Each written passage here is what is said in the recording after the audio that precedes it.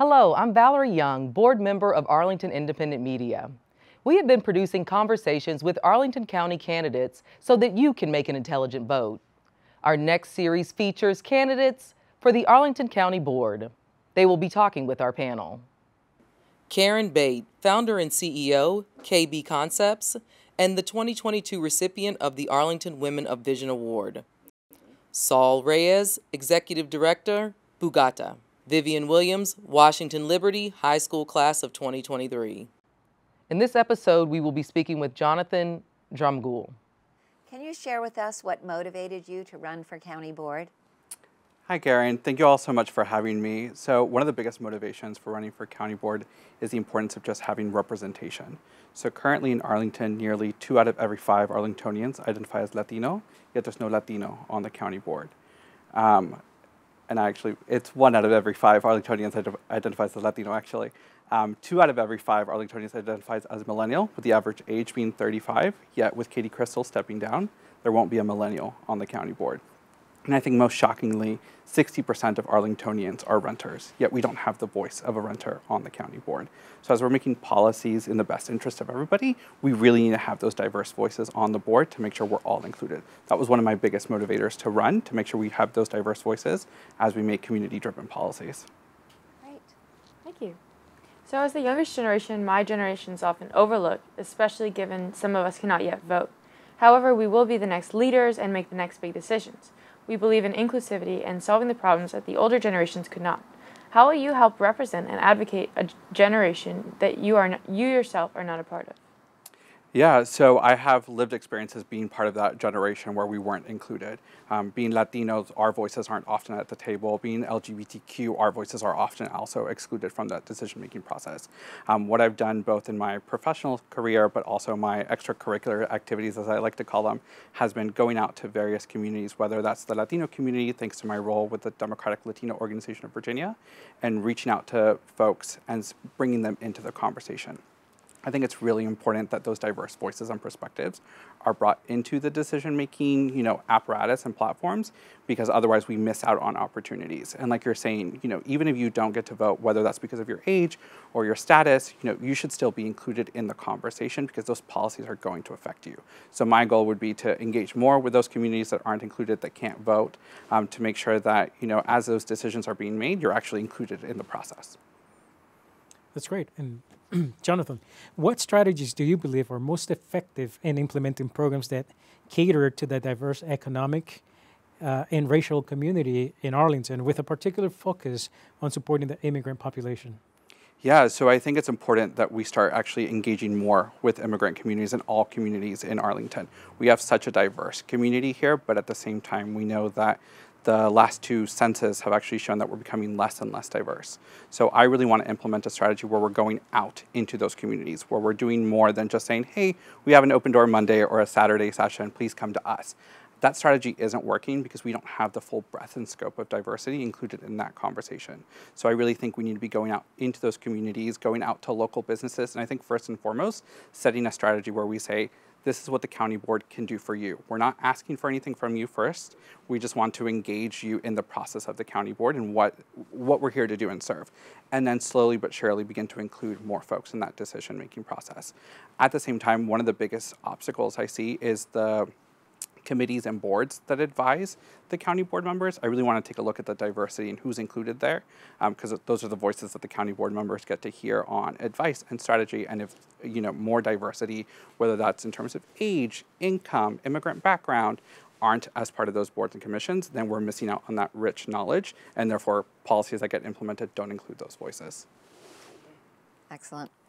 In 2020, during the peaceful protests that followed the murder of George Floyd on video by police, the Arlington County Police was called to action by the former police chief to protect the president while he made disparaging remarks about the protesters. How do you plan to ensure ACPD has clear guidelines against racial and economic bias while they still uh, fulfill their mission to keep us safe? Yeah, so I think that's you know something we need to take a closer look at is what sort of strategies we're implementing within our police force, really within all of our security forces here in the county. Are they getting the right kind of cultural training? Um, it's not enough to say, hey, we have Latinos, we have people of color here. but have you engaged with them? Have you engaged with them in their language, in a space where it makes that community feel safe? So I think we really need to expand kind of what those um, civic engagement opportunities exist between whether that's the police force, whether that's firefighters, and communities that have often been excluded from those conversations. We got to rebuild trust, and that's with the police force, that's also with the county board, and saying, we're really here to look out for you. Um, at the same time, you know, because Arlington is that close to DC, we sometimes get called into those um, kind of situations, especially during the last four years of that administration. Um, so it's something that we got to take a look on. We got to really prioritize what's happening here in the county first and foremost, um, but making sure that we're being, I think, smarter about how we are just kind of using whether that's police or other security infrastructures around the county. Thank you. So, a topic that is not only important in Arlington, but on a global level, is climate change. How do you plan to approach your role on the county board through the lens of climate change? Yeah, thank you for that question. You know, I'm part of a generation that ever since I came to this country, all I've heard about is the impact of climate change. When I was in the first grade and I ran for student uh, class president there in my first grade classroom, the policy I implemented was just bringing a recycling bin into our first grade classroom because I thought from that early age that it was so important that we're prioritizing climate. So as we look at policies here in the county, I think regardless of whether it's housing or business, we need to also remember that climate goes hand in hand with that.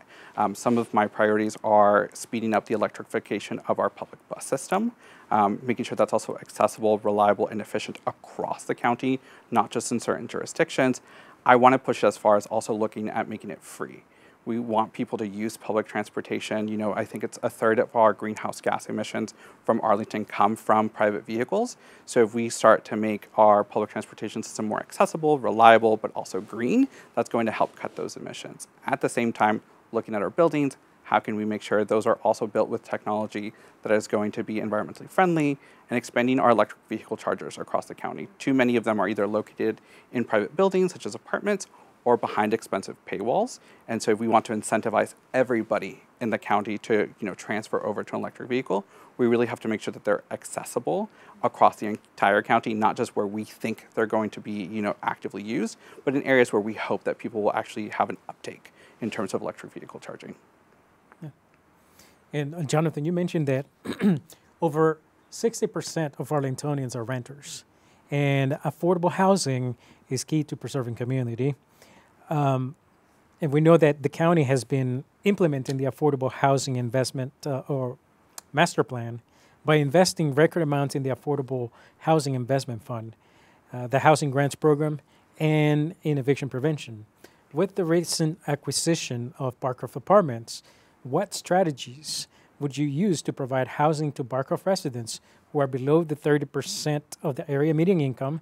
And do you have any suggestions on how we can make more affordability at Barcroft?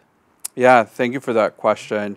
Um, you know, what's been happening at Barcroft has really hit home and just seeing so many people that look like me and that, you know, ex- have experienced similar stories like me being pushed out of their homes and hearing those stories of saying, I don't know if I can continue to live in Arlington. Mm-hmm. Something that we hear in Barcroft, something that we're hearing across South Arlington. So we really need to prioritize affordable housing. I'm all for expanding housing options here in the county, but I really want us to take a look at how we're going to make sure it's affordable. And is, to your point again, especially at that 30% AMI level, we, we need to do more. We need to do more by investing in whatever resources we have across the county. We also need to make that process more transparent. Um, I was at Barcroft Apartments listening to the community, just not, not there to campaign, not there to share anything about me, but really to listen to um, some of the challenges that were coming up with the rent changes and with the uh, way that the renewal process was taking place. A lot of them were just saying, I don't have access to this information. They told me, go find it online. And they're saying, I don't have access to that and have the ability to get online or the know how to, to get that information. They just wanted a printed copy of what that new lease was going to be, but they were struggling to get that. Um, so I think just transparency specifically with the way the Barcroft department process was going um, is one aspect of it, but really expanding that transparency to all of the processes of the county board, especially as it comes to housing. We also can do more in making sure that information is accessible in multiple languages. Too many times I'm on the county board website and I'm like, let me check out what this information looks like in Spanish.